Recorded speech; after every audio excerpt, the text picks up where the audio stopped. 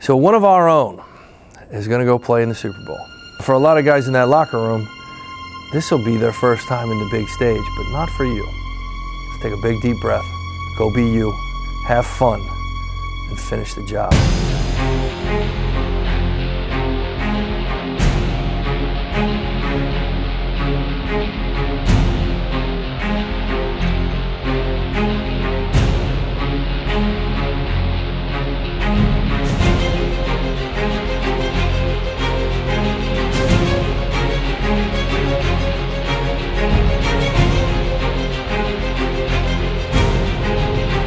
You. Play your butt off. Bring Towson University another Super Bowl championship.